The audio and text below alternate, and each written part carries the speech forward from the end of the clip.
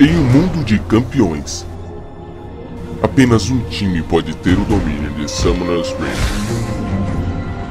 Em breve, o domínio de Summoner's Rift será disputado e você não pode ficar fora desta disputa.